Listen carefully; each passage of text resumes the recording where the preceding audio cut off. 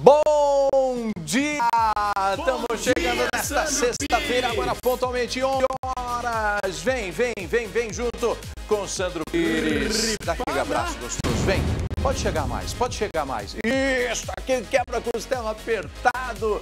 Sexta-feira, 15 de dezembro. Meu nome é Sandro Pires, você sabe, mas pode me chamar de amigo. Estamos juntos para mais um dia de muita informação, os principais fatos da região de São José do Rio Preto, 200 municípios e nossas equipes, as equipes do primeiro impacto interior, do SBT interior, estão nas ruas. As nossas equipes posicionadas nos quatro cantos desse interiorzão de meu Deus. Vem junto com a gente, espero que todos estejam bem.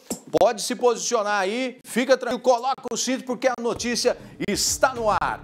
Dois veículos pegaram fogo hoje pela manhã, depois da motorista de um carro né, acabar eh, se, se desatentando com relação ao sinal vermelho. Ela estava com a filha no banco de trás e a, a, ela achou que a filha tinha se engasgado. Ao olhar, ela não percebeu e avançou o cruzamento da Avenida Badibacite com a rua Santinho Rio Preto, a Joyce Cremonese está nesse ponto onde ocorreu esse acidente e tem todos os detalhes pra gente. Bom dia, Joyce. Bom dia, Sandro. Olha, realmente, né, foi isso que aconteceu. Essa mulher, ela seguia pela Avenida Badibacite quando ela teve aí a filha, tem um problema aéreo de saúde, ela acabou ali é, olhando para trás, exatamente nesse trecho. Então ela se desatentou, o sinal fechou, acabou cruzando então aqui no sinal vermelho e atingiu um motociclista. O motociclista foi do outro lado da avenida, teve fratura na perna e inclusive foram apuradas pela nossa produtora Sibeli Crote, que esteve aqui no local e conversou com essa motorista. Eu estava observando aqui, Sandro, esse sinal atrás de mim, né? Ele fecha ali entre o amarelo e o vermelho, pelo menos 3 a 4 segundos. Assim que ele fecha, o motorista que está do outro lado, vou até mostrar para o pessoal ali, ó, Rua Santo Agostinho e vai cruzar a Avenida Badibacite, ele tem que esperar menos 7 segundos para então começar, iniciar aí o ponto, né? Só que o que acontece muitas vezes, a pressa, a desatenção, faz com que esse motorista ou não espere, né, ou não é realmente, né, cruze aí e se algum motorista passar esse tempo de 7 segundos, já viu, é acidente na certa. Eu me próximo a um quarteirão, eu ouvi inclusive essa batida, avisei aí da TV e é constante, Sandro, aqui na Avenida Badibá, pelo menos nesse trecho, muitos acidentes, inclusive é, serão antes desse semáforo e um quarteirão depois, não tem nenhum, são cruzamentos que a pessoa pode cruzar a avenida e não tem, então assim, ocorrem acidentes com muita frequência, viu? A Badibacite é uma das principais avenidas aqui de São José do Rio, né? É grande fluxo durante todo o dia e até, aliás, eu já vi é, batidas sérias, né, tanto à noite, porque tem muitos motoristas que não param no farol por conta da, da insegurança, por conta do medo. Se a nossa equipe colocar de novo as imagens do acidente, eu vou narrar aqui o que eu estou vendo, ó, com muita atenção. Esse daí é o momento em que os, os resgates faziam o atendimento ao rapaz que teve um ferimento na perna até uma farmácia próxima ali, ajudou né, na, na contenção do dengue, porque é, a gente vê nas imagens moto queimada, o choque foi entre o carro, olha só, o veículo, mas aí pegou fogo e muitas pessoas que estavam passando ficaram assustadas, pensando que o pior pudesse ter acontecido. Ele sim, ferido, teve um ferimento na perna, segundo, enfim, foi levado até uma unidade hospitalar, mas não é, sem muita gravidade, né? O caso em estados, lógico, porque teve um ferimento, né? A gente ainda não tem dados, porque o, o caso foi agora pela manhã e por conta da lei de propriedades, o hospital não passa tantos detalhes. Né? Mas a gente sendo pela recuperação dele, principalmente fazendo um alerta para todos, que aqui em São José do Rio Preto, os semáforos, é, eles, na minha visão, né, o, o, né, o amarelo, né, aquele momento de, de atenção, é muito rápido. Então, do verde para o vermelho, né, é pouco tempo, são alguns segundos apenas. Então, a pessoa tem que ter. Eu, quando eu estou passando, vejo que o tempo já está reduzindo, estou ainda, eu vou diminuindo a velocidade para que não, não nenhum contratempo e você não cruze o sinal vermelho, podendo ocasionar um acidente. Agora, o Joyce, você, como diz, mora aí próximo, né? Tem vários cruzamentos complicados, então o pessoal tem que ter muita atenção. Né? Muita atenção. Mas é um problema sério também. Eu já ouvi muitas reclamações de motoristas aqui preto que parece que os, os semáforos eles não são totalizados, como muitas cidades, né? Onde há aquela onda, o pessoal passa assim em um, de, seguindo uma velocidade né, máxima aí dentro da, da avenida, ele conseguiria é, é, passo grande na, na avenida. Por exemplo, Alberto Andaló, em, em de fluxo né, de, de pico, você demora 20 para cruzar a avenida. Isso daí é um problema sério, merece atenção né?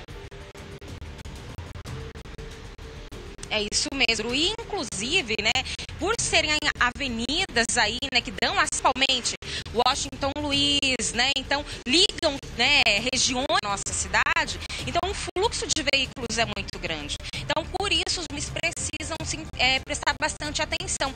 E nesse trecho onde nós estamos, Santo Agostinho, ela também é um importante acesso para a região. Então, são muitos veículos que acabam cruzando aqui, né, e então acabam ocorrendo aí com uma maior frequência. Mas se alerta, viu, Sandro? O motorista ele precisa prestar atenção, porque como no caso mulher, né? Ela foi olhar para a filha que estava né, engasgando ali, atraiu. E isso pode acontecer. Então, realmente o motorista precisa assento.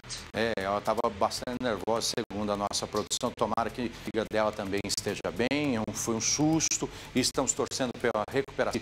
Motociclista que deve ter uma atenção redobrada porque é mais frágil em um acidente. Muito obrigado, Joyce, pelas suas informações. Daqui a pouco volta com outro assunto. É a nossa equipe rodando a nossa cidade, rodando São José do Rio Preto, nos quatro cantos e também a região. 11 horas 7 minutos. Continua internado sob escolta policial no Hospital de Base de Rio Preto. Os dois ladrões que participaram do roubo ontem em uma empresa no bairro Jockey Durante luta corporal, um no outro, enquanto um deles foi espancado pelas vítimas. A Alça Cruz está acompanhando esse caso de perto e todos os detalhes para a gente sobre os desdobramentos. Boa, Larissa. Bom dia, Sandro. Bom dia para todo mundo que nos acompanha. É um caso que chama a atenção tanto pela dinâmica quanto, claro, pelo desfecho. Esse assalto foi por volta das duas da tarde ontem em uma metalúrgica que fica no Jockey Club em Rio Preto. A gente tem até algumas imagens de circuito interno dessa empresa que mostra um pouquinho de como foi a... Segundo as vítimas, ele, né, o proprietário aí dessa metalúrgica e a mãe foram até uma agência bancária para sacar ali em dinheiro para poder pagar um fornecedor. Então, que não perceberam nada de muito diferente ali na agência bancária, nem viram, seguiram o caminho normalmente, como sempre fazem, até a metalúrgica, que, como eu disse, fica no Jockey Club. Eles só que tinha uma moto, mas essa moto não estava atrás. Então, eles não, não deram de nada porque não estaria seguindo. Essa moto estava na frente, do, seguindo ali à frente deles. Por isso, entraram na, na metalúrgica tranquilamente, sem, sem se preocupar abriram o portão e o carro entrou, esses dois bandidos vieram atrás e já anunciaram o, o assalto, né? É um homem de 5 anos e outro de 50 e 57. Então, o pessoal entrou, esses homens aí entraram, é, anunciaram o assalto e o pai da vítima, né, desse empresário, também trabalha na metalúrgica. Ele percebeu a movimentação e se assustou ali quando viu que esse homem estava apontando a arma para o filho. E acabou reagindo, veio ali por trás desse, desse homem em luta corporal e pediu ajuda para os outros funcionários. Tinham boas. Então todos eles aí entraram em luta corporal com esses dois é, para esse que estava armado, Sandro, para você ter uma ideia, ele é. usou de quatro pessoas para segurar o, o, braço dele. Nisso, aí se, se sair aí dessa luta corporal, atirou, atirou e acabou acertando o comparsa, que é esse homem aí de 30 anos. Esse homem fugiu, aí machucado, né? Ele foi baleado tanto quanto na coxa, na perna, né? E ali na parte da virilha. Ele acabou para tentar fugir da situação. Os, alguns dos funcionários se tinham atrás dele, conseguiram aí alguns metros depois é, parar a polícia, enquanto o outro ficou lá com, com os outros funcionários. Se dividiram ali para tentar segurar os dois. A polícia chegou, estavam bastante machucados, precisaram de atendimento médico, indo aí para o hospital de base, onde seguem internados, viu? E com o Marcelo, que ele é o empresário e a vítima desse assalto, fala e também o que ele fala sobre reagir, né? A sensação é, a gente sempre vê na televisão, mas nunca imagina que vai acontecer com a gente. Né? E foi uma surpresa assim, que a adrenalina vai a mil e eu, eu é assim, é instinto. Eu não é, oriento a não é, reagir, né? Eu só reagi e pegou o cara se meu pai não dá conta, ele ia matar a gente. E ele ou nós, eu tinha que reagir, ajudar meu pai e deu certo. Agora, cabeça fria analisando, eu acho que reagir não é muito. Domingo, no dia, domingo para segunda, entraram, né, na, na, levaram equipamento de trabalho nosso, máquina de solda, furadeira, até bebedor da água levaram, micro-ondas, enfim, levaram.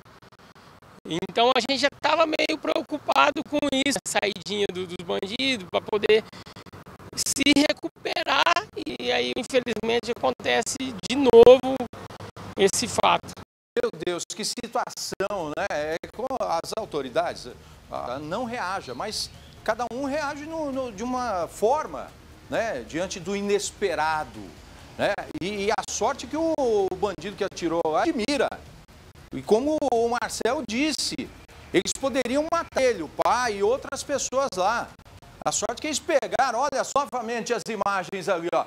Pegaram os dois e, e no cola-brinco deles. Né? Deram uns, uns anões lá e foi pouco isso daí. Só que a reação é errada, como diz né? Eles que estavam lá no calor da emoção, na revolta, porque são trabalhadores, é uma família que está ali, dando com a vida. Imagine só, chegar dois vagabundos, dois para querer levar o dinheiro. Meu Deus do céu, olha que situação, empresário, gente luta com tanta dificuldade, até para manter os empregos, e aí vem dois safados aí, dois vagabundos querendo levar o dinheiro. Eu sei também o que eu faria. Deus que me livre de estar numa situação dessa. Mas cada um reage de uma forma, não é verdade? Agora é o seguinte: você percebeu aí nas imagens que o carro está entrando, a mora lá na esquina, esperando. E eles tinham acabado de sair do banco, estavam com dinheiro. Ó, bola de cristal eles não têm. E é por isso que a gente continua acompanhando a investigação, a Larissa, porque os dois estão lá no, no hospital, né? Porque um tirou no outro lá, então um levou um safanão, estão se recuperando sob escolta, vão ser, são presos, estão presos, só que as investigações continuam, porque pode ter gente envolvida nisso daí, ô, ô Larissa? Sandro, sim, viu? Olha, a polícia já está com a arma aí do crime. Ela não é raspada, ela tem ali um registro, então tem um nome ali e também os dois celulares para a polícia tentar identificar com quem que eles estavam conversando para saber se realmente tinha alguém que passou aí, né, a, a informação de que vítimas estavam com uma quantidade de dinheiro aí considerável e onde estava esse esse dinheiro, porque todo momento, segundo as vítimas, eles falavam, eu quero a bolsa, eu quero a bolsa. Então, a, a, as vítimas e a polícia também acredita que eles tinham certinho a informação. E olha, a gente apurou algumas coisas aqui que são talvez relevantes aí para a gente entender um pouco a dinâmica desse caso e levantar aí uma, uma bola, né, para a gente conseguir perceber aí o, a, o que aconteceu de fato. É, com a placa da moto, que inclusive estava tampada na hora que eles fizeram aí esse assalto, né, eles tiveram o cuidado de tampar aí a placa na moto, ela está registrada aí, tem nenhum, é, nenhuma é, furto, né? Ela não tem registro aí de furto, ela tá toda certinha, legalizada e tem um nome aí, o proprietário dessa moto. Então, é uma pessoa para saber o que, que essa moto estava fazendo com esses indivíduos e se ele tem alguma ligação ou não, né? O proprietário, já que essa moto não é roubada. Outra coisa também que a gente apurou, Sandro, que fica é. aí, né, o questionamento sobre a justiça. É, o, esse homem de 54, 54 anos, ele, eu tinha dito no começo que é 57, né, mas é 54 anos. Ele tem passagem, a primeira passagem dele pela polícia foi em 1998. Desde então, tem vários registros dele que a gente conseguiu levantar aí essas informações. Esse outro de 35 também tem passagem. Então, assim, são pessoas que já estão aí na criminalidade e estavam na rua. A gente não sabe o motivo de estar na rua, fazendo novas vítimas. E graças a Deus, todas essas pessoas, o empresário, seus funcionários, todos estão bem, estão, né? Em casa com as suas famílias. Inclusive, um dos funcionários, Sandro, tem uma bebezinha de 21, de 21 dias. Sim. Ele, ele viu que segurou né, esse, esse homem aí que estava armado. Então, olha só a tragédia que não poderia ter sido, né? É, cabe às autoridades aí, né, mudar as regras, né, para manter esses bandidos mais tempo na cadeia. É possível, a população já está cansada. Não adianta a polícia prende né, e a justiça solta. A cabeça da população está igual ensino batendo aí, ó. Tá, já está cheia, já, a população já está cansada. Não aguenta mais, né? Não aguenta mais. Realmente a gente fica acompanhando aí e torcendo para que a justiça prenda essas pessoas né, e deixe apodrecendo na cadeia e vamos continuar acompanhando essa essa investigação da polícia, porque foi fidada isso daí, tá bom? Muito obrigado, Larissa. Rapaz, o sino fica mesmo, hein? Olha, quem tá dormindo uma hora dessa já acordou. E você, tá ligado com a notícia aqui no primeiro impacto? Já que tá o sino, vou bater a ripa também. Vamos na ripada, é pra acordar. Quem tá aí, já bateu um rango gostoso, tá aí dando, tirando aquele cochila gostoso, né? Dormir depois. Dá uma, só uma cochiladinha, mas vamos ficar ligado porque a notícia está no ar aqui no SBT. Daqui a pouco, aqui no primeiro Impacto Interior, nossa equipe está posicionada nas ruas, rodando atrás da notícia. Somos caçadores de informações. Vamos falar agora sobre dados divulgados sobre a violência na região. Destaque da notícia, Melissa Alcântara.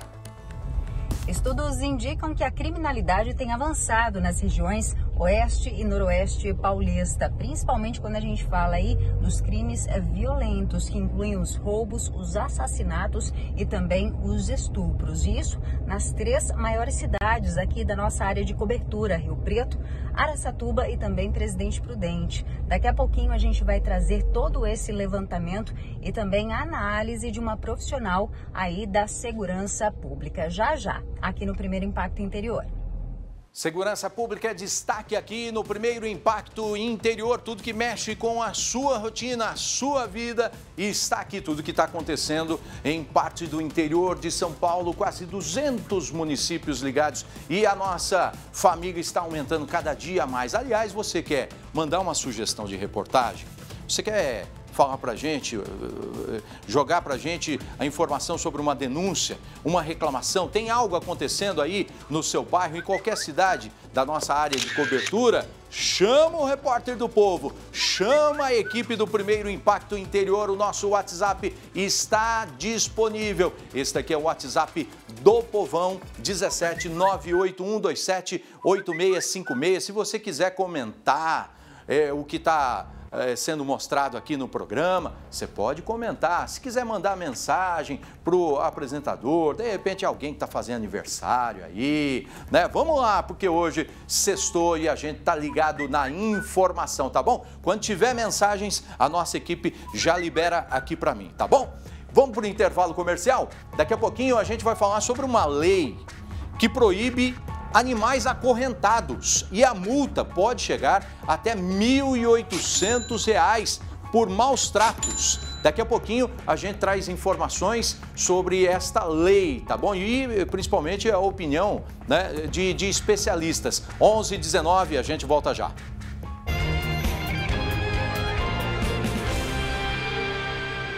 Estamos de volta com o primeiro impacto interior. A notícia em destaque da nossa região. Vem, vem, vem junto comigo. Nesta sexta, o homem da ripada está no ar aqui pelo SBT, abraçando parte do interior de São Paulo. E vem junto, porque ó, o coração do apresentador é grande e cabe todo mundo. O trabalho da polícia não para. Rafael Rodrigues está na estrada para acompanhar mais uma operação contra o tráfico de drogas. Fala, Rafael. Bom dia, Sandro. Bom dia a todo mundo que está acompanhando aí já o primeiro impacto. Estamos aqui na Marechal Rondon, rumo a Andradina, para acompanhar aí os desdobramentos da Operação Santa Claus, que foi desencadeada hoje lá na cidade de Andradina e contou com as polícias civil e militar. Daqui a pouco eu tô de volta aqui no primeiro impacto para trazer todos os detalhes sobre essa operação de combate ao tráfico de drogas. Até mais! Ok, Rafael, muito obrigado. Boa viagem. Daqui a pouquinho, quando ele chegar lá, ele traz todos os detalhes para a gente sobre esta operação contra o tráfico de drogas que, infelizmente, está por todos os cantos. Uma nova lei em Presidente Prudente proíbe que animais sejam acorrentados. A multa pode chegar a R$ 1.800 por maus tratos. Vamos falar com o Joca Maluli, que tem os detalhes. Ô, ô Joca, bom dia para você. Então, ninguém mais pode deixar um cachorro acorrentar, nem, nem aqueles mais ferozes, como o caso do, do Pitbull e outros mais? Dia, Sandro. Bom dia aos nossos telespectadores. Eu vou explicar um pouquinho melhor essa lei para você, essa lei que foi sancionada e aprovada em Presidente Prudente. É uma lei que já foi aprovada em diversas cidades de todo o país. Ela segue mais ou menos o mesmo texto ali do projeto de lei, porque é uma tendência nessa né? atenção ao, a, a, a boa forma de cuidar dos seus animais, seja gato ou cachorro que você tem em casa. O texto é, dessa lei é muito similar, foi aprovado em Prudente. O projeto é um projeto de autoria do vereador William Leite, que defendeu a tese desse projeto, embasado em algumas situações. Por exemplo, os danos é, físicos que pode causar a um cachorro, por exemplo, ficar preso e acorrentado com uma corda ou uma corrente. É muito comum casos de lesões na pele, porque afinal de contas é muito calor, eles ficam expostos ao sol, à chuva e acaba ocasionando diversas lesões à pele desses animais. Outro, outro dano dano causado é o comportamental, porque os cachorros eles ficam incomodados, né? Eles ficam ali transtornados, acabam se mutilando, se mordendo, e também o mental, porque tem muitos casos de cachorros que acabam se acorrentando, né? Se enforcando ali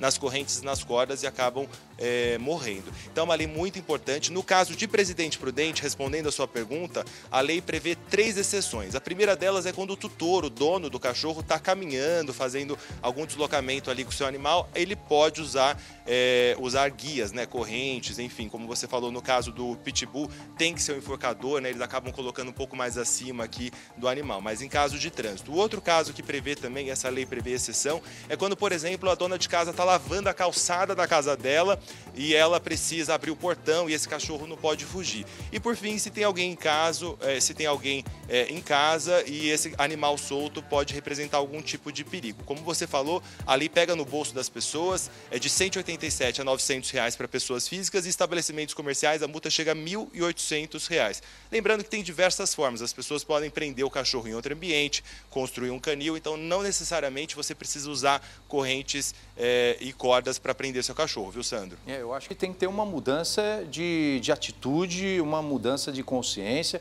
porque, como eu disse, ah, é também válido para o pitbull. Tem, tem pitbull que é, é, é tão dócil, porque o cão, ele age, é lógico que tem o instinto animal, mas o cão age né, como o seu dono está agindo com ele.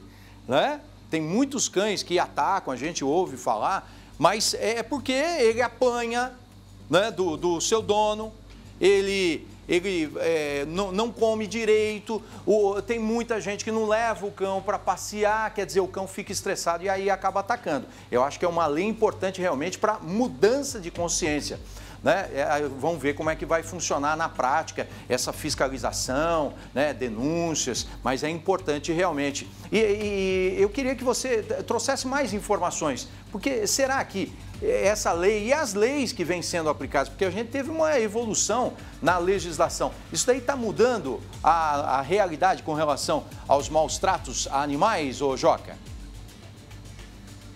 Olha, Sandro, para responder essa sua pergunta, eu estou aqui na ONG Clube Amigo dos Animais com a Cíntia, que é ela que vivencia na prática, no dia a dia, o resgate de milhares de, de animais. É, eu conheço o trabalho aqui da ONG. E aí, Cíntia, eu queria que você responder, respondesse a pergunta do Sandro. Se você acha que, de fato, uma lei como essa que foi sancionada em Prudente ajuda né, na conscientização das pessoas de como tratar os seus animaizinhos. Com certeza ajuda, sim, muito. Tomara que essa lei pegue o estado todo, quem sabe um dia o Brasil, né? Porque, como vocês falaram, quando do financeiro, quando mexe no bolso, você não consegue conscientizar com as palavras, com os exemplos. Quando mexe no bolso, as pessoas pensam duas vezes antes de cometer que a gente diria, dependendo da situação, maus tratos com o animal, que é mantê-lo na corrente. Cintia, aqui na, na, na, ONG, vocês costumam resgatar animais com sinais é, de lesão no pescoço e de maus tratos justamente pelo uso de corrente de corda? Sim, já resgatamos animais que a correia se adentrou no pescoço, virou, teve bicho, né, a mise, que a gente chama, animal que teve que ficar hospitalizado. Já resgatamos animais que ficaram mais agressivos, mais bravos, porque eram limitados no espaço, na coleira, assim. Então vamos mostrar aqui, Sandro, para ah, vocês, aqui na ONG, lá. olha, só para vocês terem uma noção. Os animais, Sim. eles ficam presos, porque tem animais, são muitos animais, alguns acabam não tendo ali uma interação amigável com o outro. Então, aqui o que a gente pode notar? Que as pessoas podem fazer em casa, inclusive as pessoas que forem fiscalizarem prudente vão fazer esse tipo de orientação, para que as pessoas construam, se possível, canil, como por exemplo aqui, ó. A gente pode notar que são várias baias, os animais são separados por grupos, né? Afinal de contas, também tem aqueles que são amigos e os outros que nem tanto. Então, eles ficam é, presos aqui, ó. Tem sombra, tem água fresca, que é muito importante. Então, assim, dá segurança, porque Sim. as pessoas podem transitar aqui livremente, como eu que estou aqui, mas também dá respeito aos animais. Então, tem diversas formas que vocês podem separar o seu animalzinho, o seu cachorrinho ali, sem precisar fazer esse comportamento que é uma crueldade com os cachorros, que é deixar eles acorrentados, né, Sandra? É, o que eles precisam é de respeito e de amor. Né? E a lei, nós, seres humanos, seres pensantes, temos que criar essas condições ideais para que eh, eles sejam felizes em seus lares. Tem gente que pega o, cãozinho só para vigiar a casa e se esquece que ele é um ser vivo e merece atenção. Tem gente que nunca levou no veterinário, né, não, não, tem esse cuidado com a saúde dele e é necessário. Muito obrigado, Joca, pelas informações. Bom dia para você de trabalho. Qualquer momento ele volta aqui no primeiro impacto interior, porque a notícia continua no ar. Um homem de 43 anos foi preso suspeito de abusar sexualmente das três filhas dele. Uma criança e duas adolescentes que não tiveram as idades reveladas. O caso teria acontecido em agosto deste ano. A polícia havia instaurado um inquérito para investigar o estupro de vulnerável. O suspeito foi preso, atenção, hein? Foi preso na casa dele em Pauliceia durante uma ação da Polícia Civil para cumprir um mandado de prisão temporária. Inicialmente, ele vai ficar preso por 30 dias. Segundo a polícia, o homem já havia sido preso por outro estupro em 2014. Como assim? Foi preso por estupro, mas estava em liberdade desde 2022 por ter recebido benefício de progressão de pena para regime aberto. É São brincadeira, hein? São aqueles absurdos que acontecem nesse país. São aqueles absurdos. Como é que o sujeito que é preso por estupro comprovado tem o direito à progressão de pena? Tinha que esquecer o sujeito da cadeia. Tinha que esquecer. Será que ninguém avaliou a possibilidade do sujeito voltar para as ruas e cometer o mesmo crime, que é um crime bárbaro, um crime que revolta a população, estuprou as três filhas, gente. Destruiu a vida das filhas. Meu Deus do céu, algo precisa ser feito nesse país. As leis precisam ser modificadas, o entendimento das leis precisa ser outro. Porque não é possível. É um absurdo realmente que causa indignação na população.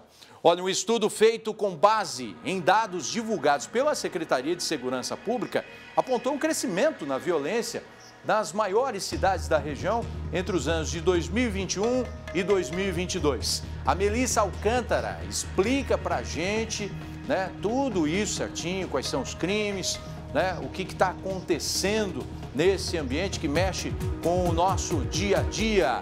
Bom dia, Mel. Oi, Sandro, bom dia para você, para todo mundo que está assistindo a gente. Pois é, a criminalidade avançando aí no nosso interior paulista. E essa semana, por exemplo, nós tivemos uma semana pesada aí de notícias envolvendo crimes violentos. Trouxemos aí situação de estupro, situação de roubo, situação de assassinato. Ou seja, essa semana ilustraria esse levantamento que aponta esse aumento da criminalidade. Eu tô com os números aqui, vou falar para o pessoal de casa ter uma noção, olha só, na região de Rio Preto, por exemplo, o número de homicídios foi de 86 em 2021 para 104 em 2022. Já o número de estupros, que é outro crime aí bastante é, lamentável, bastante é, reprovável, não é? Foi de 568 para 696. Na região de Presidente Prudente, o número de homicídios foi de 60 para 69. O número de estupros de 354 para 363. Somente na região de Araçatuba é que teve aí uma pequena queda com relação ao número de homicídios. Foi de 83 para 73 de 2021 para 2022.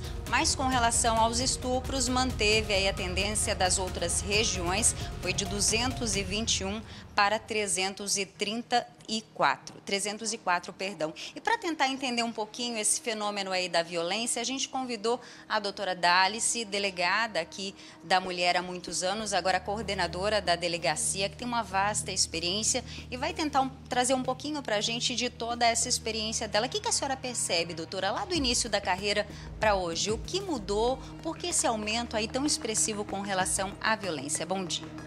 Bom dia, bom dia, Sandro. É um prazer, né, tê-lo aqui com a gente, tá? E lhe desejo todo o sucesso nessa nova morada. Em relação à questão da violência contra a, contra a mulher, de uma maneira geral, obviamente, se deve, assim, ao encorajamento dessa mulher que saiu de sua casa e aos poucos, né, foi procurando pela delegacia, foi denunciando as violências que sofreu. Isso também ocorre em relação aos crimes de abuso sexual. Nós sabemos que é uma subnotificação que, infelizmente, é uma cultura muito forte ainda, sabe, e, e, inexplicável aos nossos olhos, porque nós não podemos aceitar. Agora, a nossa dificuldade em relação a feminicídio. Esse ano realmente foi um ano muito pesado. Há vários anos que nós não tínhamos, assim, né, esses números. E também a gente viu assim, ocorrências com muita crueldade. Isso se deve ao que? A mulher está se impondo mais. E o homem com dificuldade de ouvir não. Então, achei, inclusive, essa última campanha que houve aqui no município do Laço Branco, no sentido de do homem desconstruir essa cultura machista, onde tem a mulher como propriedade, onde ele entende que ele tem poder de mando, inclusive tirar a vida dela quando não lhe satisfaz. E no geral, a senhora acha que as pessoas estão mais intolerantes por qualquer pequeno motivo? Eh, já é, briga, já mata, já puxa uma arma, já puxa uma faca? É, a gente está vendo essa banalização da vida, né? Os ânimos muito alterados. É difícil você aferir o que tem atrás disso, a não ser essa cultura machista né? De perda. É, é, é, essa coisa de se não for minha, não vai ser de mais ninguém. Isso é muito forte. Em quase todas as ocorrências há esse relato. Mel. Então, esse poder o homem entende mesmo né, sobre a mulher. E o, o encorajamento dela, né? Dela está vindo por motivos menores, mas estão nos procurando, isso é muito importante. Melissa. Tá, ok, muito obrigada, viu, doutora, pelas suas explicações. Pois não, Sandro? É, eu, o que eu queria, eh, primeiramente, agradecer a doutora Dalice, tem um carinho enorme a ela, né, é, por, por, tudo que ela faz, por tudo que ela representa, força, né, engajamento na sua função para defender as mulheres aqui da nossa região. Parabéns pelo trabalho, uma das mais experientes delega delegadas que eu conheço, já entrevistei várias vezes e sempre muito gentil com a imprensa. E agora há pouco, Melissa, a gente mostrou um sujeito que foi preso por estupro, ficou algum tempo preso, né, foi na progressão, já saiu e aí estuprou as três filhas. Eu queria, eu não sei, é, devido à função da delegada, lógico, né? Mas o que a gente tem a sensação é de que a polícia está fazendo o trabalho dela. As mulheres estão encorajadas em denunciar, mas as leis têm que ser mais duras, têm que ser mais firmes, porque senão, e tem que ter uma avaliação também, depois de preso, quem eles colocam nas ruas, porque senão né, a pessoa volta a cometer os crimes. É, o que a gente acha é isso, que a polícia fazendo o trabalho dela, é, as mulheres denunciando, mas a gente acaba correndo um risco aí com essas pessoas. É, leis mais duras, não é verdade? Eu não sei se é esse o entendimento dela, se as leis também têm que ajudar toda a sociedade. Doutora, primeiro o Sandro expressou o carinho, o agradecimento, é, falou da experiência da senhora, que tem aí uma grande admiração pelo trabalho da senhora. E antes da gente entrar ao vivo, ele trouxe a notícia de um homem que foi preso por estupro, progrediu, saiu e depois disso teria estuprado as três filhas. Então, trazer a opinião da senhora com relação às leis. As leis deveriam ser mais duras nesse sentido? É que, na verdade, as leis são duras, mas que na verdade os elementos probatórios são, são difíceis, são raros. É um, uma conduta que se dá em lugar ermo, isolado aos olhos. Então a justiça acaba encontrando um grande óbice para eh, uma pena mais agravada. Eu penso dessa forma. O que fazer para manter essas pessoas atrás das grades? A dificuldade de se comprovar uma conduta. Obviamente, nós não podemos armar uma situação para uma prisão em flagrante, nós não podemos expor uma pessoa nessa, nessa situação. É, é, é muito difícil. E às vezes as crianças têm pouca idade, não conseguem se expressar. Mas no caso aí, a partir do momento que ele tem um, uma passagem, um registro sobre abuso sexual, ele comete um outro, isso vai confirmar a conduta anterior. Né? Então é importante a denúncia, mesmo que não haja elementos suficientes de prova. Tá ok. Muito obrigada, viu, Obrigado. pela sua participação, Sandro. Ok, obrigado, Mel. Obrigado, a doutora Dalice e estamos aqui abertos para a polícia que tem realizado um excelente trabalho. Muito obrigado. Vamos lá, vamos dando sequência aqui com o primeiro impacto interior.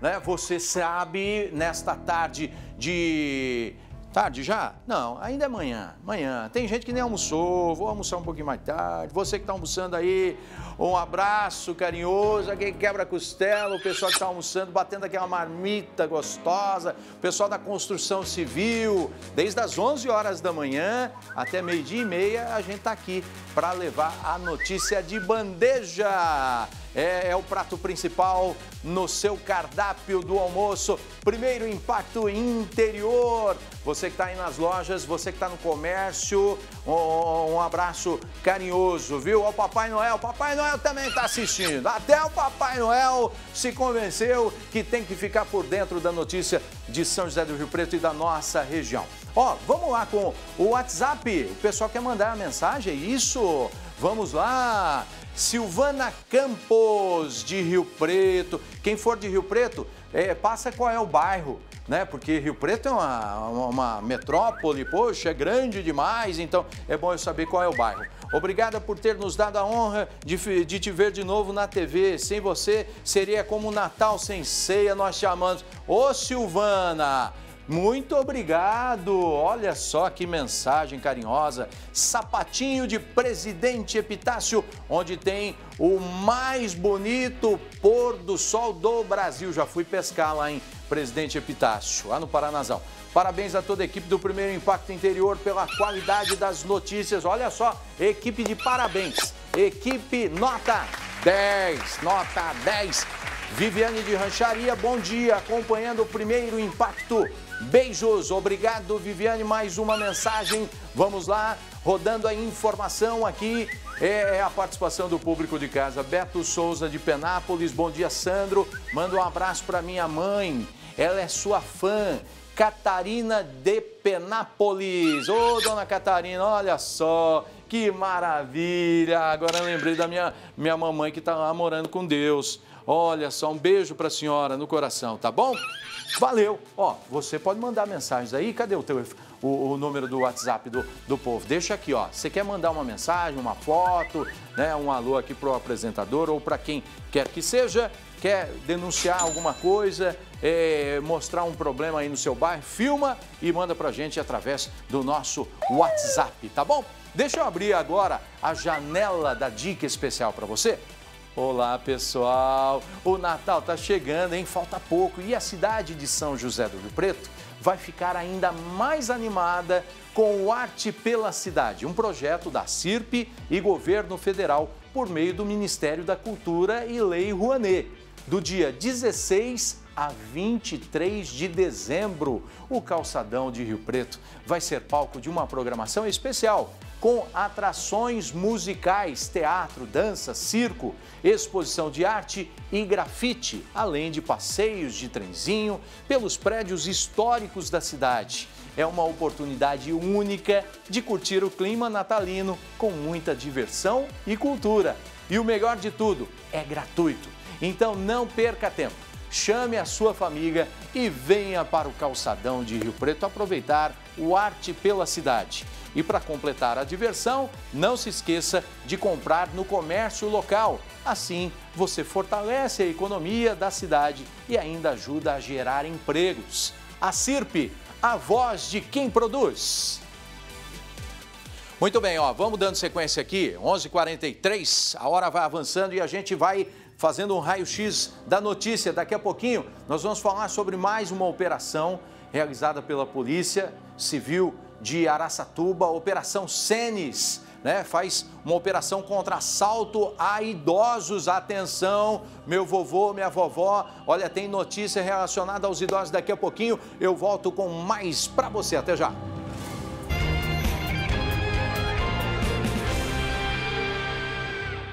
Estamos de volta com o primeiro Impacto Interior. Já já vou te mostrar falar com a nossa equipe de reportagem sobre esta operação Senes realizada pela Polícia Civil em Araçatuba sobre né, os assaltos né, a idosos. Atenção, você que é de Araçatuba, você da região, a gente tem um público muito grande nesta idade, acima de 60 anos. Nós vamos falar aí sobre os assaltos e como se, se prevenir também, tá bom? Daqui a pouquinho. Agora tem uma dica especial. Tudo bem, Caio? Gerente do Magalu, Magazine Luiza, também aqui juntinho com a gente, Natal no Magalu, a gigante antes do calçadão em Rio Preto. E neste mês de dezembro, o presente de Natal você encontra no Magazine Luiza. E o Caio, gerente da loja, vai trazer ofertas imperdíveis e produtos que podem ser parcelados em até 24 vezes com no cartão Luiza. Com certeza, Sandro. Tudo bem com você? Tudo, tudo ótimo. bem, pessoal? Estamos aqui para falar da melhor, das melhores ofertas do Magazine Luiza. A gigante antes do calçadão tem Certo. muita oferta. Se você não presenteou ninguém ainda nesse Natal, não deixa para a última hora. Corre para nossa loja que tem ofertas imperdíveis, imperdíveis, imperdíveis. Vamos lá, primeira oferta. Olha que é sensacional. Eu gosto de falar muito desse conjunto aqui de panela. Ele é da Brinox, Sandro. É. Pensa no conjunto. Esse aqui é o sonho de consumo de todo mundo que tem a dona de casa, que gosta de fazer aquela comida maravilhosa. Ela é cerâmica, tá? Top demais. Top. E o sabe o que é legal dela? Essa tampa dela serve também na frigideira. Olha. Poucas panelas de cerâmica vêm com a frigideira com tampa, então você pode usar. E o preço tá imbatível, de 699 por apenas 499. Tá muito barato e você não pode perder essa oportunidade, hein? Próxima. Super panela. E dá uma olhada aqui também, ó. Tem esse conjunto, esse jogo aqui, esse Não, PS5. É o sonho de é top. seu filho estudou o ano inteiro. Passou de ano, É. tá feliz da vida, presenteia ele. Eu digo muito lá na loja, Sandro, que melhor que você ganhar o presente é você presentear alguém. Sim. Então, olha que presente maravilhoso pro seu filho. 24 parcelinhas de 209 no cartão Luiza, que sai na hora na Gigante, viu? Sai na hora seu cartão Luiza lá, com uma breve análise. 209 por mês, você pode aí estar adquirindo esse maravilhoso PS5 8K, top demais, ou 4.499 à vista, tá, pessoal? Próxima oferta, vamos, lá. também para a próxima oferta. Tem uma Super TV. Eu, eu coloquei na tela aqui a TV. É uma TV 55 polegadas, smart, completa, 4K, borda infinita. Ela vem com Netflix. Ela vem também com o YouTube para criançada assistir. Maravilhosa essa TV, 109 por mês ou 2,399. Que E o maravilha. melhor ainda dessa tela, tá? Você pode parcelar ela em 24 vezes Sim. no cartão Luiza. Eu gosto de enfatizar que ele sai na hora. Leva seu documento, seu CPF RG, a gente faz a breve análise e ele sai na hora. Também posso parcelar ela no carnê, tá? Com Que preço maravilha. maravilhoso. Vai até a nossa loja, tá? A gigante antes do calçadão. Magazine Luiza tá demais, viu? Não perca, tem muitas outras ofertas, pessoal é só ir na Com loja, é isso? certeza. E pra falar aqui também, ó, Ah. do queridinho. Do iPhone. iPhone. Esse É. preço tá incrível, presentão de Natal. 3,999. Quem gosta de iPhone sabe do que eu tô falando. Esse Maravilha. preço tá imperdível. À vista no Pix, 3,999 ou 24 parcelinhas de 199 é a Apple e tem celulares a partir de 599 Que também. bacana, vai lá, General Glicério, 2746, né? Um, um- um quarteirão antes do calçadão de São José do Rio Preto. Procura o Caio e toda a equipe competente de vendas. E não se esqueça de que tem o QR Code aqui, é Magalu, é Natal, é comprar lá. Tamo tá bom? junto, Valeu. Caio, um abraço. Tchau, tchau. Magazine Luiza. Vamos lá, vamos dando sequência aqui com o balanço geral. A Joyce Cremonese vai trazer para a gente, ainda nessa edição, que a Polícia Rodoviária Federal está apertando o cerco com mercadorias vindas do Paraguai. É, tá aumentando, já realiza né, uma fiscalização intensa nas rodovias da nossa região, né, mas é, principalmente nesse período que antecede o Natal. Joyce, é com você. Sandro, agora eu estou a caminho da Polícia Rodoviária Federal porque eles apreenderam né, uma carga aí de produtos contrabandeados do Paraguai. Agora com a proximidade aí do final do ano, muita gente aproveita para ir para lá para trazer esses produtos para serem comercializados. Isso é legal e a gente vai falar um pouquinho sobre isso. Muito obrigado. Daqui a pouquinho você volta. Olha, as polícias civil e militar estão unidas hoje em uma operação para combater o tráfico de drogas em Andradina. O Rafael Rodrigues está acompanhando esse trabalho ao vivo e traz todos os detalhes para gente. Rafa, é com você. Boa tarde, Sandro. Boa tarde a todo mundo que acompanha o primeiro impacto interior. Exatamente, estou aqui desde cedo na estrada, Sandro, vindo aqui para Andradina para acompanhar essa operação integrada entre as polícias civil e militar. Combate ao tráfico de drogas, Operação Santa Claus, Sandro. Papai Noel chegou mais cedo aqui em Andradina, só que não trouxe presente para esse pessoal que não se comportou, né? 11 mandados de busca e apreensão cumpridos e, ao todo, seis pessoas presas. O- a operação, em princípio, Sandro, é, ela foi aí é, organizada há mais de um mês, né? E a princípio era para combater o tráfico de drogas. Só que o doutor Marcelo da Silva Zampero, delegado da DIZI daqui de Andradina, nos deu entrevista quando a gente chegou aqui logo na delegacia de Andradina e esclareceu que, na verdade, essa operação contra o tráfico de drogas, ela coíbe diversos outros crimes que são consequências do tráfico de drogas. Então vamos acompanhar aí o que o Dr. Marcelo explicou para a nossa equipe logo quando a gente chegou. O tráfico, na verdade, ele é uma mola propulsora para outros crimes, principalmente os patrimoniais. Porque o usuário, aquele contumaz, principalmente o usuário de crack, ele é, um dos, ele é o maior furtador da cidade. Ele entra em todas as casas. Então acaba que o usuário furta a casa e entrega para o traficante. A tirada do traficante da sociedade reduz esse impacto. Além de disseminar na sociedade que a polícia está presente, tanto a militar como a civil, e que a polícia está atuando, não só no tráfico, mas também sobre outros crimes. E os mandados de busca e apreensão domiciliares, em verdade, eles são para o tráfico, mas normalmente a gente encontra outros objetos ilícitos, objetos que foram furtados por esses usuários. A gente pode encontrar lá armas de fogo. Né? No dia de hoje, por exemplo, foram cinco flagrantes. Exatamente, Sandro. E além de tudo isso, né, nós tivemos uma valorização aí desse trabalho de investigação e o cruzamento de informações, tanto da inteligência, da Polícia Militar, quanto do Departamento de Investigações da Polícia Civil aqui de Andradina. Tivemos participação até do grupo do GOI. Também encontramos aqui policiais do BAEP, da Força Tática e o comandante aí dessa operação por parte da Polícia Militar foi o capitão Diogo Araújo, que nos deu mais informações sobre o organograma tático dessa operação, de como é que, que isso foi feito, essa operação integrada entre as forças de segurança pública atuando aqui em Andradina. Vamos acompanhar o que ele disse. Um dos grandes objetivos dessa, dessa, desse trabalho conjunto, dessa união de forças conjuntas entre os agentes de segurança pública, Polícia Militar e Polícia Civil, é exatamente operacionalizar ações que visam o maior sucesso, né, na, na, no caso, em prender os indivíduos que estão na prática de crime. Participação do helicóptero do Águia, que vem nos apoiar nas ocorrências, utilização de dois drones, cão farejador da equipe do BAEP, do batalhão de BAEP lá de Aracatuba, bem como também as unidades especializadas da Polícia Civil, todos trabalhando de forma conjunta para o sucesso da operação. Ô, Rafa, e teve um suspeito que é, acabou sendo preso, mas ele nem era alvo da operação, é isso?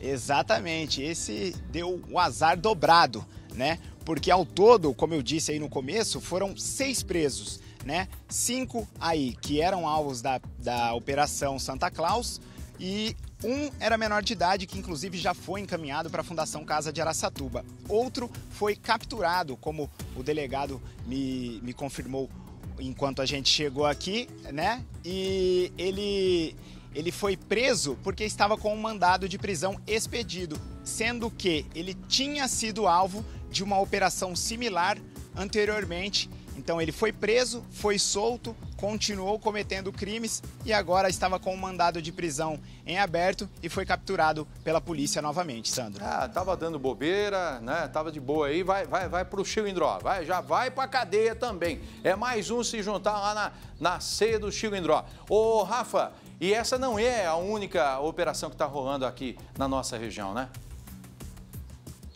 Exatamente, Sandro. Falando agora de Araçatuba, como você adiantou aí um pouquinho mais cedo, nós tivemos uma operação da Polícia Civil do Inter 10, com policiais da DEIC e da seccional de Araçatuba, que cumpriram nove mandados de busca e apreensão e quatro mandados de prisão. Foram empenhados aí 32 policiais nessa operação que prendeu aí é, os suspeitos e também materiais que eram utilizados para cometer furtos e roubos, principalmente na casa de idosos. Segundo a Polícia Militar, é, esses indivíduos que foram presos aí na, na operação, esses quatro mandatos de prisão, é, nós também tivemos três pessoas que já estavam com a prisão temporária decretada e estavam presas. Né? Esse grupo criminoso já tinha cometido oito roubos na cidade de Araçatuba, então trabalho integrado em toda a região, né, Sandro? Mostrando que as forças de segurança pública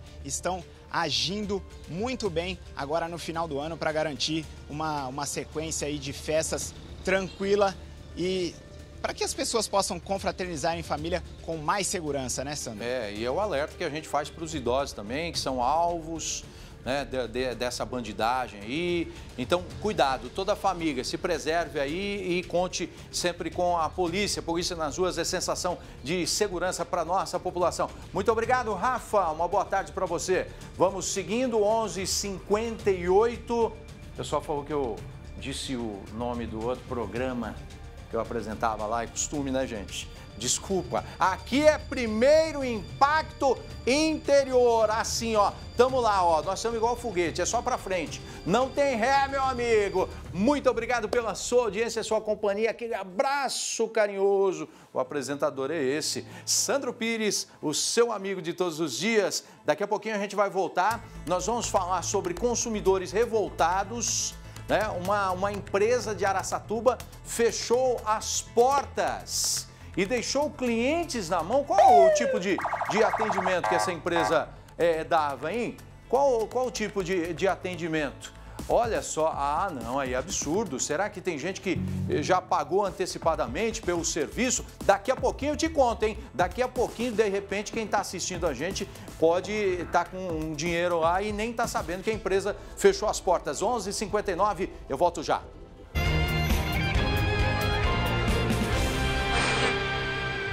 De volta com o primeiro impacto interior, agora meio-dia, um minuto. Vem junto com a gente porque a nossa tarde de sexta-feira continua com muita informação. Polícia Rodoviária Federal de Rio Preto fez uma grande apreensão de produtos contrabandeados. A Joyce Cremonese está com o inspetor da PRF e traz todos os detalhes para gente. Aliás, período que deve aumentar o número de apreensões como essa com a proximidade do Natal, né, Joyce? É isso mesmo, viu, Sandro? E interessante que esse pessoal saiu do Paraguai e eles estavam chegando em São José do Rio Preto, mas foram interceptados pela Polícia Rodoviária Federal em Mirassol e a carga, Sandro, avaliada em 650 mil reais. Eu vou conversar então com um inspetor aqui da PRF, o Catarucci, que vai trazer todos os detalhes para a gente. Como que foi então essa apreensão, Catarucci? Bom dia. Bom dia, Joyce. Bom dia, Sandro. Bem, a nossa equipe estava em deslocamento pela rodovia Washington Luiz, retornando para a base, e aí de repente o veículo passou em alta velocidade. E os policiais viram aquela situação, um veículo com três indivíduos dentro, decidiram fazer a abordagem para verificar qual que era a situação. E as informações desencontradas, cada um falava uma coisa, contava uma história diferente. Os policiais perceberam que a, a moldura, a carenagem ali de proteção da, da caçamba estava alterada um veículo relativamente novo, já com aquela alteração. Então eles decidiram verificar o que havia por trás da estrutura de plástico ali que protege a carenagem e encontraram celulares e eletrônicos escondidos dentro da lataria do veículo. E o que acontece com eles agora? Eles foram presos? Sim, nesse caso, crime de descaminho, são presos em flagrante. Toda a mercadoria é apreendida e o veículo também foi apreendido. Sandro, você tem alguma pergunta para fazer para o Catarucci? A gente destacar aqui o trabalho da PRF, né? eu, eu, eu fico orgulhoso de ter inspetores como os que a gente tem aqui, atuando sério mesmo. Tem muita gente que é, acha que ah, esse, esse tipo de apreensão né, é, não deve acontecer porque ah, mas é, é a pessoa está trabalhando, mas não, é, é, errado, existe um limite, né? Aliás, eu queria que você perguntasse para o Catarus, porque quem vai para o Paraguai comprar fazer compras. Tem muita gente que vai, mas tem um limite de compra. Acima disso, e muita gente acaba vendendo esses produtos, aí é ilegal. Aí a polícia tem que fazer o trabalho dela. Eu gostaria de, de que ele é, é, explicasse como que funciona isso daí, Joyce. Tem um limite, Catarucci, com relação à quantidade de produtos, né? Porque as pessoas podem ir lá fazer as suas compras, mas tem um limite de produtos que essas pessoas podem trazer? Sim, existe uma portaria da Receita Federal que estabelece o limite de 500 dólares por pessoa. Então a pessoa pode trazer é, mercadoria do Paraguai dentro da cota de 500 dólares, mais ou menos em torno de 2.500 reais por pessoa. Acima disso, se for uma mercadoria permitida, cujo comércio é permitido, a pessoa pode declarar e pagar o imposto correspondente ao excesso. Se for bebida, são é, 12 litros por pessoa de vinhos que podem trazer. Mais do que isso, bebida já é contrabando, então não pode trazer nada mais do que 12 litros por pessoa. Catarucci, obrigada. Parabéns mais uma vez pelo trabalho da Polícia Rodoviária Federal. E só para a gente ter uma noção, Sandro, é. neste ano 23 pessoas aí foram presas e mais de 2 mil produtos apreendidos aí pela Polícia Rodoviária Federal aqui em São José do Rio Preto.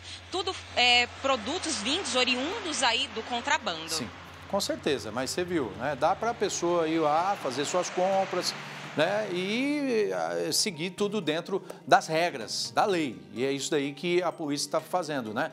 É, é, é, determinando, ó, isso daqui está fora das regras, acaba sendo apreendido. Muito obrigado, Joyce, pelas informações. A gente vai seguindo aqui com o nosso programa, o primeiro impacto interior. A gente recebeu agora há pouco uma boa notícia. Vocês lembram do pintor que caiu de uma altura de 4 metros ontem em Pereira Barreto? É, ele estava pintando um galpão comercial quando se desequilibrou e despencou da escada. Esse rapaz se chama Matheus Barbosa, tem 23 anos. O Matheus passou a noite na UTI da Santa Casa de Araçatuba, reagiu bem e já está no quarto. Obrigado, Senhor. Por enquanto ele permanece internado, mas a situação melhorou bastante e logo ele deve receber alta. Que Deus abençoe aí Mateus, toda a família. Estamos no aguardo por isso e sempre o alerta para os nossos trabalhadores: cuidado, use EPI, né? não conte com a sorte nem com a experiência.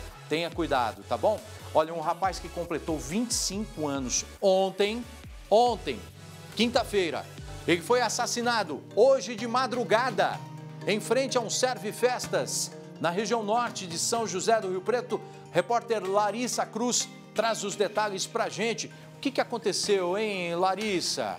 Boa tarde.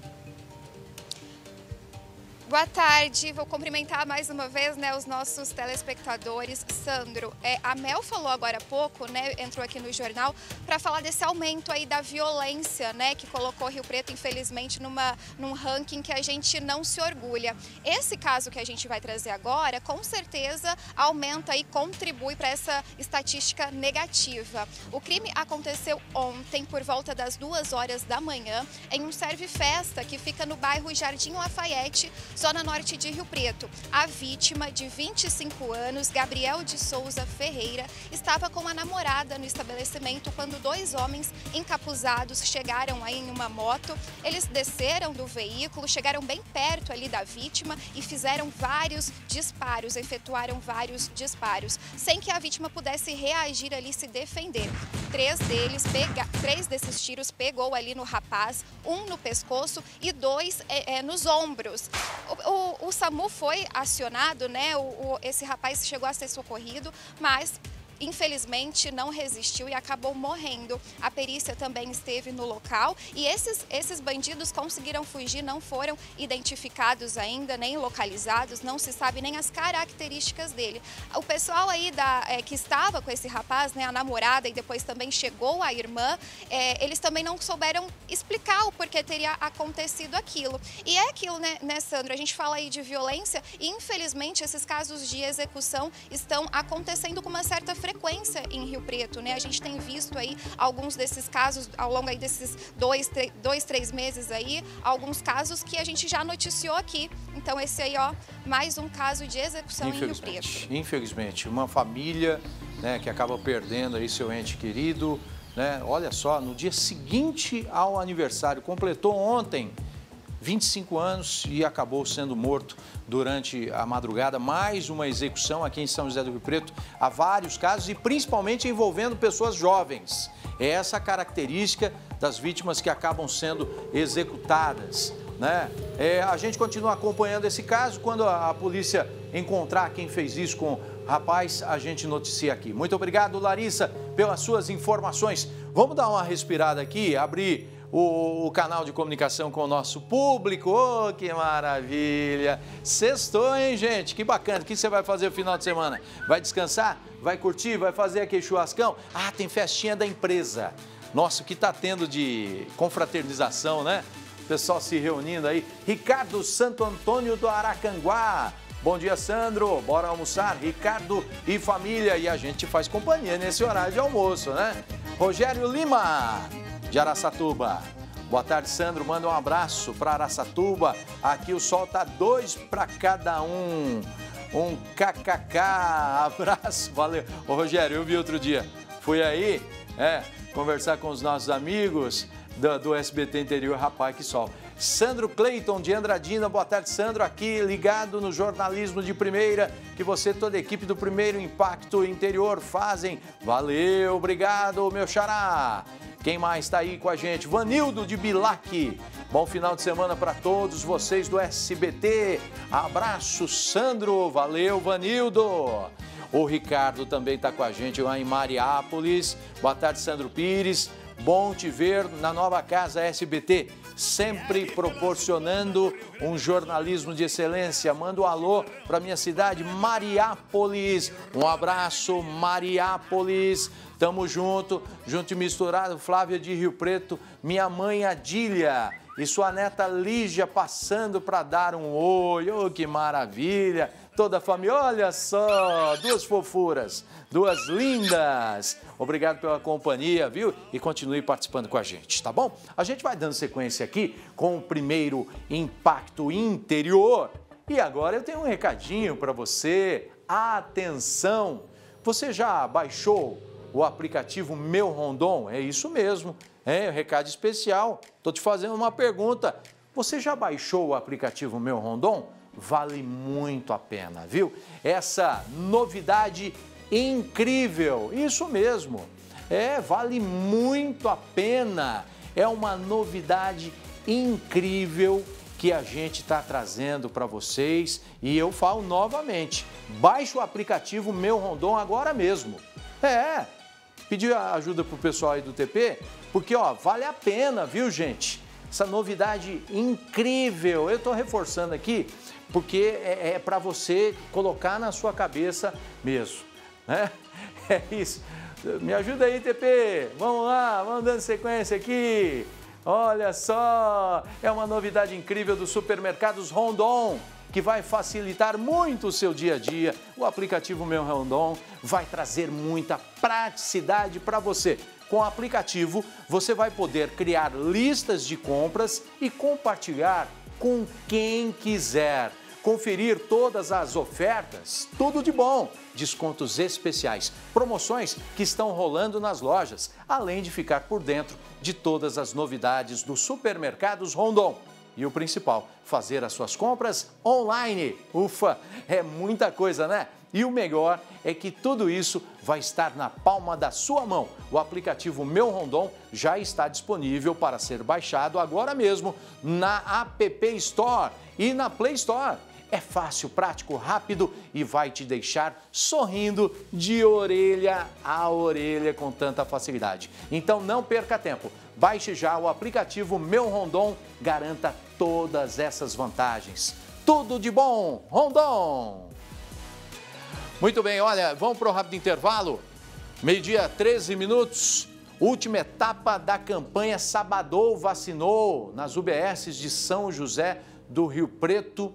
Né? As UBSs estarão abertas amanhã para vacinação. Daqui a pouquinho a gente vai falar disso, né? saber se é, como é que foi, qual um, um, balanço que o pessoal faz a respeito desse trabalho de vacinação aos sábados, que dá oportunidade para quem durante a semana está na correria, tá bom? Depois do intervalo comercial. Até já.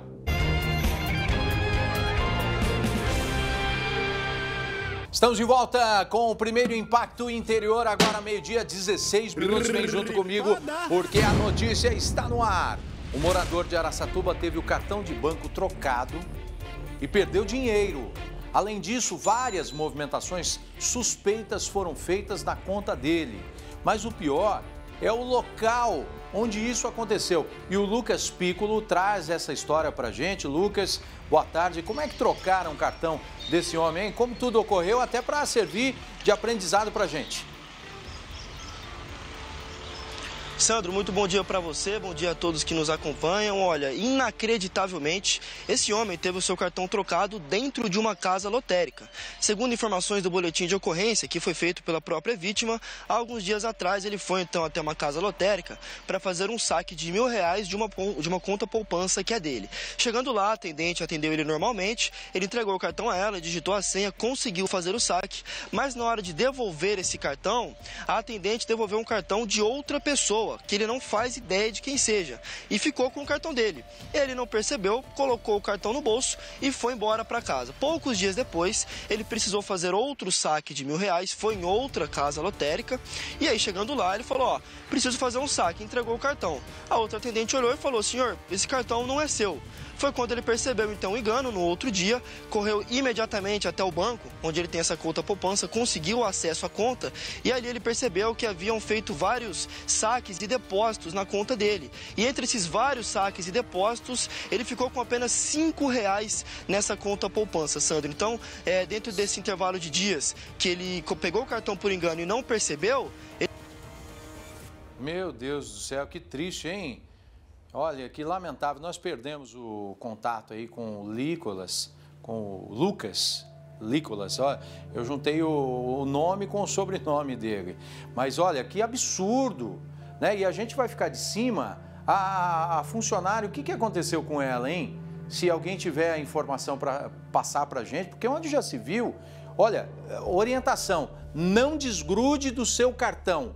E cuidado, mesmo que você não veja maldade nos outros, cuidado, vai digitar a senha, fica atento, vai no caixa é, do, do, do, banco, ó, se alguém tiver querendo, algum zoiudo querer ver a sua senha, cuidado, oferecer ajuda, né? E a gente vai ficar de cima desse caso aí para acompanhar, porque responsabilidade da pessoa que pegou lá, né? É uma lotérica, quer dizer, um estabelecimento comercial. A gente vai ficar de cima desse caso, tá bom?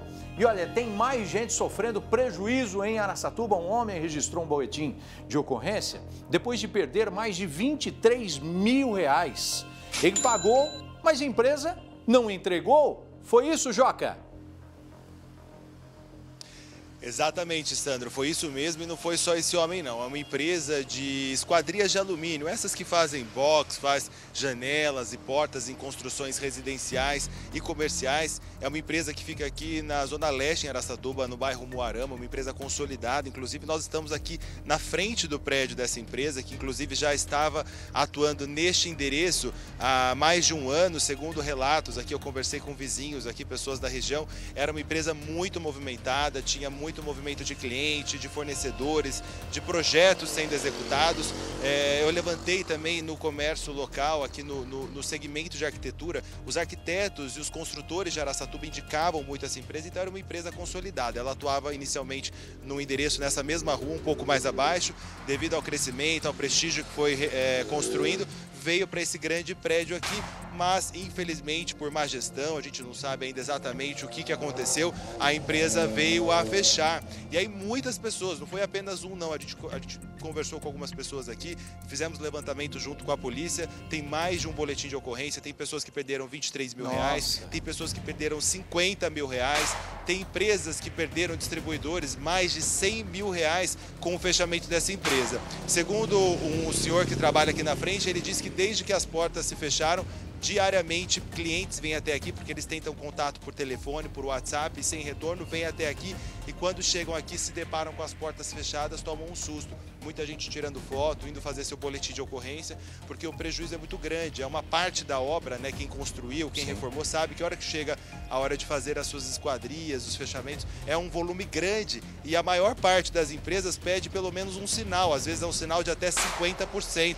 Então o que, que aconteceu? Essas pessoas perderam todo o dinheiro que investiram e agora a gente vai ter que acompanhar o desenrolar dessa situação, né? Desse, dessa situação muito difícil, porque afinal de contas a gente sabe que é difícil ganhar dinheiro quando você faz um investimento como esse, tudo que você quer é não ter dor de cabeça, né, Sandro? Agora, Joca, cadê? Os donos estão aí, você está na frente da empresa, você tocou a campainha, tem alguém para atender a gente, tem um advogado, é, os, os, proprietários, porque eles têm que dar as caras. Se houve mais gestão, né, não souberam aí, ah, o negócio não foi bem, fizeram barato demais, não tiveram lucro, o que não pode é essas pessoas ficarem no prejuízo. Prejuízo milionário, isso daí é muito sério. Né? Existem regras para isso e esse dinheiro tem que ser retornado para eles. Tem alguém na empresa ou não, não aparece ninguém aí? Não, Sandro, não tem ninguém. A gente tentou, inclusive, aqui. Eu é. fiz alguns contatos, alguma apuração para ver se eu consegui o contato da empresa. É, o perfil tá do Instagram, fechado. inclusive, das redes sociais, é, foi desativado, tá tudo fechado. E, Sandro, eu vou te mostrar algo aqui que me chamou muito a atenção. Teve é, clientes tão revoltados que resolveram vir aqui fazer justiça com as próprias mãos. Se você vê aqui, ó, nesse vidro, tem sinais de vários tiros. Isso aconteceu na semana passada, é, na final de um jogo de futebol importante. Esse cliente revoltado aproveitou que estava tendo queima de fogos aqui na cidade e aí o barulho se confundiu e veio aqui, ó, atirou aqui, ó, tem um, dois, três, quatro, cinco tiros desse lado e do lado de lá tem um sexto tiro também que atingiu essa porta aqui, ó. Olha o tamanho do, do, do, de onde a bala perfurou aqui. Porque realmente as pessoas estão revoltadas, né? E no momento de dificuldade, de repente financeira, a gente sabe que não é fácil ganhar dinheiro e aí de repente pode ter aí causado um prejuízo enorme num negócio de uma família que precisa disso e que está esperando a obra ser concluída. Sim. E aí, infelizmente, chega aqui e se depara com essa situação, né, Sandro? Bom, Joca, a gente continua de olho nesse assunto, né? Se tiver alguém da empresa que queira falar, nós vamos continuar nesse fato até as pessoas terem o seu dinheiro retornado, porque como o Joca disse, é um alto investimento, não pode ficar assim, tem que ver se tem bens, aí o proprietário tem que dar conta, né? Porque o que não pode é as pessoas né, depositaram dinheiro, acreditaram na empresa e ficarem, a Deus dará. A gente continua acompanhando esse caso, viu, Joca? Vamos para o rápido intervalo comercial, agora meio-dia, 23 minutos. Daqui a pouquinho tem muito mais para você. Até já. De volta com o primeiro impacto interior nesta sexta-feira, meio-dia, 26 minutos. Olha, muitas pessoas ainda estão em falta com algum tipo de vacina. Por isso é importante que essas pessoas procurem as unidades de saúde para completar o esquema vacinal. Né? E quando tem plantão, é bom, né? porque é um horário alternativo para quem está na correria aí durante a semana. Tem o sábado disponível, por isso esse é o último final de semana da campanha Sabadou Vacinou em São José do Rio Preto. A Melissa Alcântara tem mais detalhes para a gente, direto de uma unidade de saúde. Como é que está a movimentação por aí? A gente sabe que durante a semana realmente fica complicado, porque são muitos afazeres, né, Mel? Olha, Sandro, a Emília, que aplica aqui as vacinas, estava me contando que durante toda essa semana o movimento foi intenso, então bastante diferente das últimas vezes que a gente veio aqui na OBS do Parque Industrial, que é uma das sete unidades básicas de saúde que vão estar abertas amanhã, das 8 da manhã até uma hora da tarde, para esse Sabadou Vacinou. E a gente está aqui para acompanhar também a aplicação da vacina bivalente no seu Sebastião, que estava me dizendo que está com as vacinas todas em dia e tem uma preocupação com relação à saúde, porque toma todas as vacinas direitinho, seu Sebastião? A idade também, né? Mas eu sempre tive essa preocupação, tanto com a minha mulher, meus filhos, netos. Mas graças a Deus estou em dia certinho. Mês passado tomou da gripe, agora está tomando a bivalente então? É, a quinta dose, né? Tá, tá certinho. Estou satisfeitinho já. Quer dizer, o seu Sebastião conseguiu vir durante a semana, mas de repente, por conta aí dos horários, do trabalho, muita gente não consegue vir até uma UBS durante a semana e tem a oportunidade de, aos sábados, é, vir atualizar a carteirinha de vacinação. E eu vou falar aqui que UBSs vão estar abertas neste sábado, além aqui do Distrito Industrial, também a UBS do Estoril, João Paulo II, Jaguaré, São Deocleciano, Santo Antônio, Solo Sagrado Sagrado e também a do Vetoraz. O horário, como eu disse, é das 8 da manhã até a 1 hora da tarde. A gente sabe que muitas crianças estão em período de rematrícula, precisam apresentar carteirinha de Sim. vacinação. Então, mamães, aproveitem a oportunidade. Tem que trazer um documento com foto e também a carteirinha de vacinação. As meninas já dão aquela conferida para ver se está tudo certinho. Como você disse no princípio, muita gente está em falta com alguma vacina. Estão disponíveis todas, viu? Sandro, todas as vacinas aí é, do calendário oficial e também as vacinas da gripe e da Covid. Não tem é, nenhum motivo aí para dizer que não tomou a vacina. É, Voltamos e, com você. E talvez a explicação desse movimento mais intenso durante a semana, que eu achei que, que não, que tivesse mais tranquilo. Tem a explicação com relação à rematrícula e também em férias, né? Muita gente vai viajar, a gente sabe que há casos de Covid, há um aumento, então as pessoas talvez estejam procurando aí as UBSs para se vacinar e viajar de forma tranquila. Muito obrigado, Melissa Alcântara, pelas informações. Para quem vai se vacinar, boa vacina! E agora nós vamos com o nosso esporte. O Marião tá lá trazendo todas as informações do esporte. Boa tarde, Mário, Caio, toda a equipe aí.